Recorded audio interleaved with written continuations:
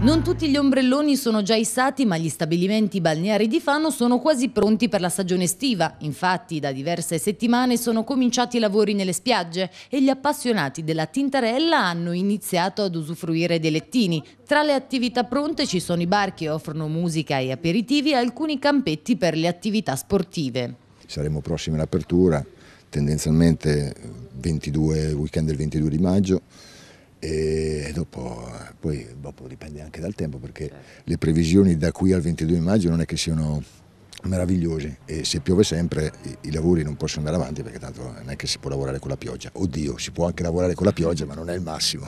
non in tutti gli stabilimenti però sventola la bandiera blu, il riconoscimento assegnato dalla Fondazione per l'Educazione Ambientale che premia la qualità delle acque di bagnazione ma anche il turismo sostenibile, l'attenta gestione dei rifiuti e la valorizzazione delle aree naturalistiche. L'Ufficio Turismo infatti non ha inoltrato le domande per le spiagge del Lido e dell'Arzilla, limitrofe alla Fondazione foce del torrente e quindi non potranno fregiarsi del vessillo blu nonostante i valori ambientali siano rientrati nella norma. Anche l'anno scorso non ce l'avevamo, la, la, zona del Lido, ma è, è una cosa, il fatto della bandiera blu il discorso da fare è anche che due anni fa ci sono stati problemi con l'Arzilla per cui abbiamo avuto il divieto di bagnazione per un periodo seppur breve di cosa e abbiamo una fedina al penale sporca per cui anche se adesso teoricamente l'acqua è pulitissima perché pare che abbiamo fatto i lavori là all'Arzilla, per quattro anni noi non possiamo avere la bandiera blu per via del, del, problema che abbiamo avuto due anni fa. Questo vi ha provocato danni o comunque insomma, la clientela questo, e gli questo, affezionati questo non mancano? Sinceramente questo non, non, lo so dire, non lo posso dire, non, non, posso sapere chi non è venuto appositamente perché non c'era la bandiera blu o cosa.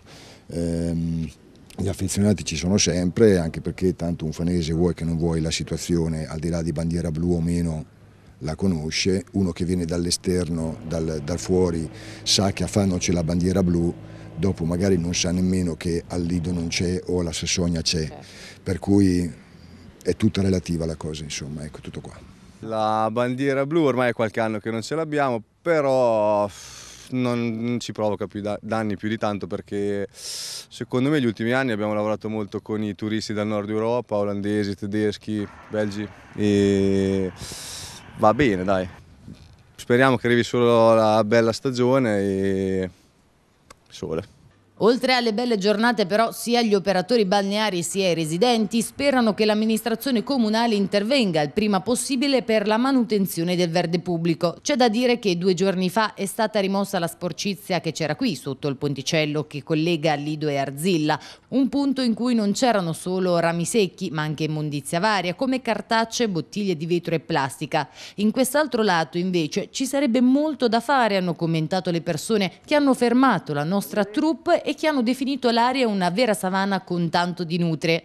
Oggi l'assessore Cristian Fanesi ci ha confermato che i fondi necessari sono già stati stanziati e che a breve verrà eseguito l'intervento. Fra qualche giorno inoltre inizierà lo sfalcio della vegetazione anche lungo le piste ciclabili Fano Arzilla e Fano Pesaro, un'operazione a costo zero grazie ad una collaborazione fra il comune di Fano e il consorzio di bonifica e che permetterà di mettere in sicurezza il percorso molto utilizzato dai cittadini.